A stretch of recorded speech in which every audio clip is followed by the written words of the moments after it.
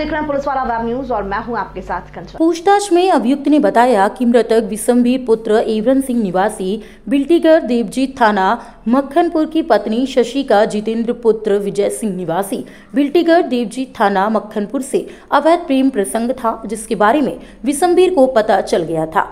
जिसका विसम्बीर ने विरोध किया, इस बात से नाराज़ होकर पत्नी शशि ने अपने पति को रास्ते से हटाने के लिए शशि और प्रेम जितेंद्र ने विसम्बीर की हत्या की साजिश रची।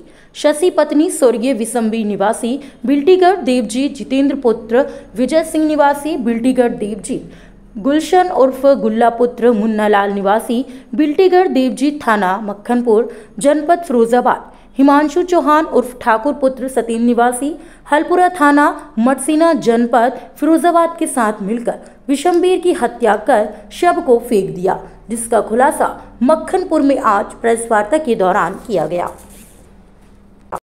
देखिए, थाना मक्खनपुर में 9 तारीख की रात में एक व्यक्ति की गुमशुदगी की सूचना मिली थी। और ये, हम लोग उसके बाद सी ओ शकोहाबाद की और एस की टीम और एस ओ मक्खनपुर सब लोगों ने मिल कर के उस गुमशुदा व्यक्ति की खोजबीन में लग गए।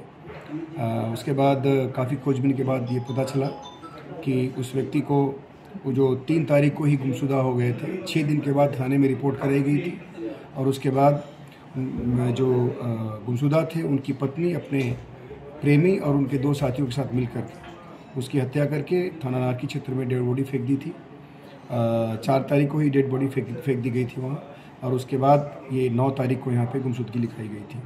इसमें हम लोगों ने छानबीन करने के बाद जो मृतक विशमवीर थे, उनकी पत्नी और उनके बाकी तीन लोगों को हम लोगों ने गिरफ़्तार किया है और विशमवीर की हत्या में जो प्रयुक्त कपड़ा था स्टेंगुलेट करने में जो काम जिसको यूज़ किया गया था, उसको भी हमने बरामद किया है।